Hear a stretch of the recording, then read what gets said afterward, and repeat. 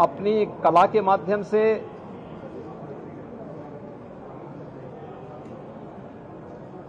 अपने राष्ट्रीय कर्तव्यों का निर्वहन करते हुए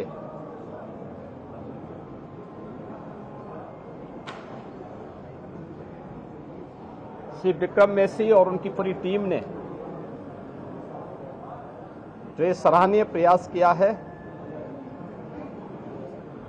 मैं इसके लिए उत्तर प्रदेश वासियों की ओर से उनका हृदय से अभिनंदन करता हूँ।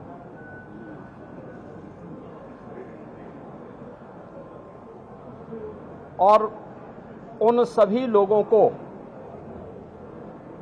जो अक्सर सत्य पर पर्दा डालने का कार्य करते हैं,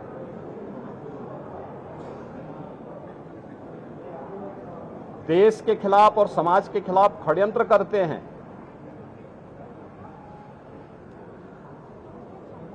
वे विभिन्न स्तरों पर हो सकते हैं।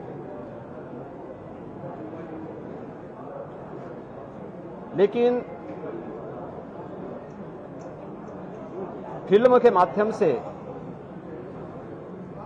द साबरमती रिपोर्ट ने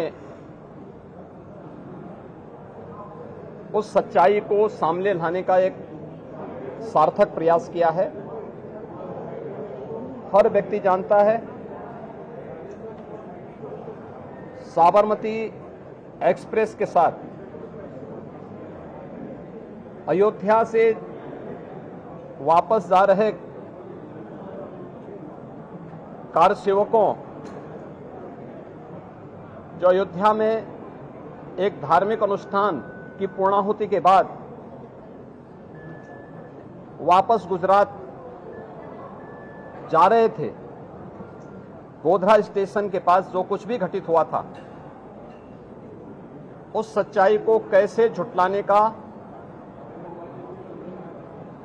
हर स्तर पर प्रयास हो रहा था। लेकिन आखिर वह सच्चाई सामने आई है।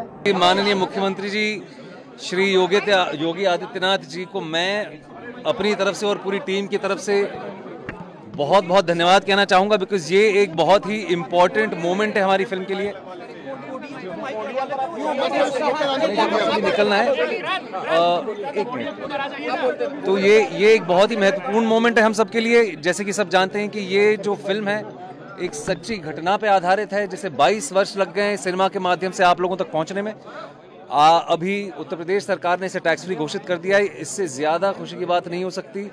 आप लोगों के माध्यम से मैं लोगों को ये आग्रह करूँगा कि प्लीज़ सिनेमाघरों में जाएँ ये फ़िल्म देखें। और और मैं वो क्या ही कह सकता हूँ बहुत खुशी की बात है।